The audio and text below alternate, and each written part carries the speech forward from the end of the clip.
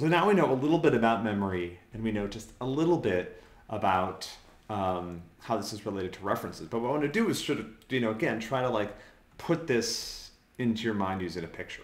Um, we talk a little bit about how Java uses references to determine when something is safe to delete. Um, as we pointed out, there is a way to create things that consume memory in Java, but there's actually no way to remove them from the system. Java will do this for you. And the way it does this is through a technique called reference counting. And again, this brings us back to references, which is our focus this week. Um, the way reference counting works is quite simple. It's under this principle that we've been kind of talking about in the past, which is if no reference exists to a particular thing, then it must not exist. Sorry, it might, sorry, if no reference exists to a particular thing, it might as well not exist. If there's a phone number in the world, that there's if there's a phone in the world that has no phone number, nobody can call it. That phone might as well not exist. If there's a house in the woods that no one has an address to, that house might as well not exist. And what Java does to keep program memory under control is when an object reaches a point in the program where there are no references left to it, Java will remove that object from memory. This is sometimes also known as garbage collection, which I think is somewhat of a pejorative term because like we're not saying that the object is garbage, it just isn't useful anymore. So let's see an example of how this works. I put together a little program uh, on the left. What that program does, you'll see there's, there's two pieces to it. So outside of the loop, it maintains a reference to a string. And then inside the loop, what it does is every time it goes through the loop, you'll see on the right side of this assignment, it creates a new string. So every single time I go through the loop, I'm creating a new string and that string is going to take up some memory. And I save a reference to it in this local variable. So this is a variable that's declared inside the loop.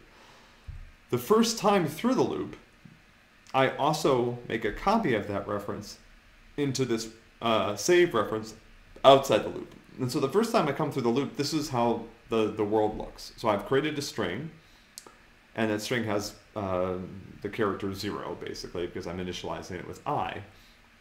And I have two references to that string. I have s, which is the reference that I use in the original assignment. Because this is the first time through the loop, I also have a copy of that reference in save. So at this point, I've got one object, two references. So at this point, this object is definitely not safe to remove because I actually have two references to it. But let's go on. Okay, so here's how things look after the second iteration of the loop, where i is 1.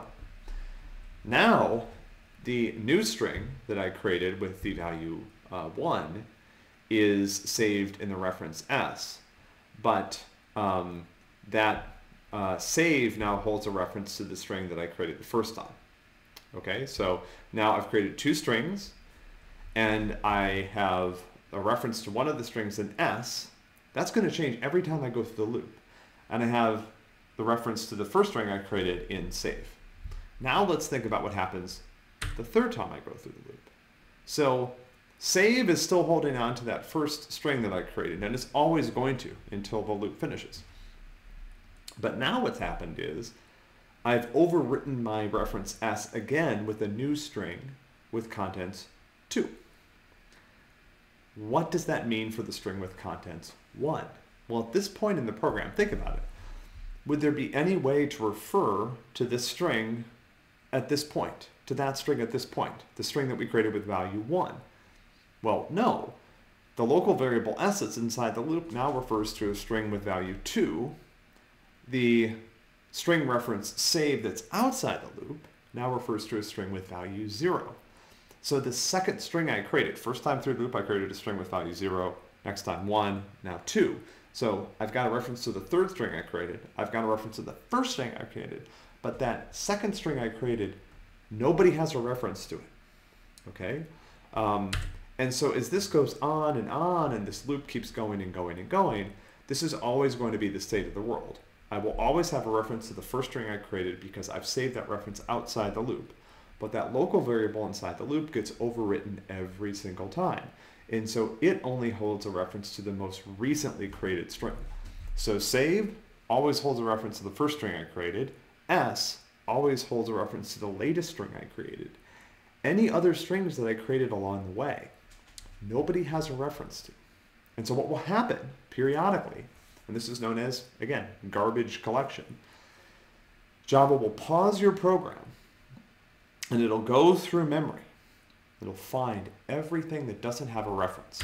So in this case, I've got two string objects that I created that are taking up space in memory, but that nobody has a reference to.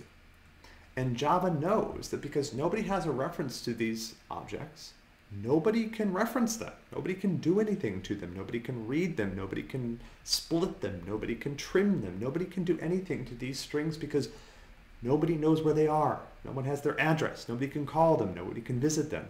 They are, uh, well, again, I don't like to call them garbage, but they are not useful anymore.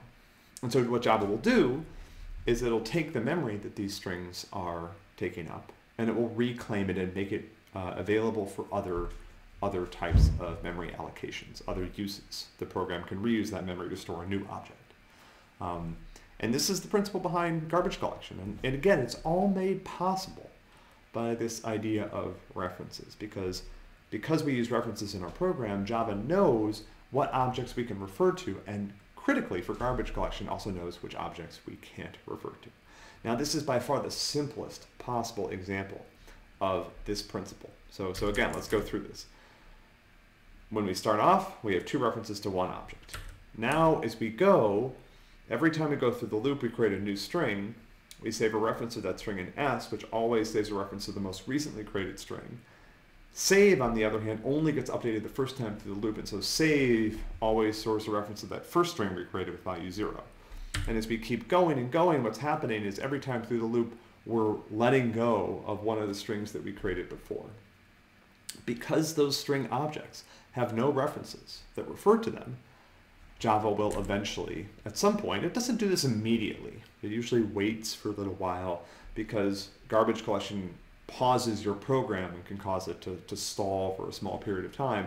So at some point, Java will pause your program, it'll go through memory, find all of the objects that don't have any references to them, and reclaim that space. Um, this is a technique that's in wide use. Java was one of the first mainstream languages to introduce this idea. Um, but since then, this is also used by Python, by JavaScript, by Go, by you know lots and lots of other programming languages that you find out there in the world have a very similar idea. Um, at the same time, there's also some really exciting new approaches to memory management that I certainly don't have to talk uh, time to talk about here. Um, but this idea of garbage collection through reference counting is something that is extremely common, and it's a very common way for languages to help programmers manage memory without uh, forcing them to think about having to clean up stuff. So, so if you think about this example, we never had to delete a string. We don't have to figure out, oh, I'm done with that string, I need to delete it. Java knows when we're done with something because when we're done with something, we don't have any references left to it. And at that point, it's safe to remove.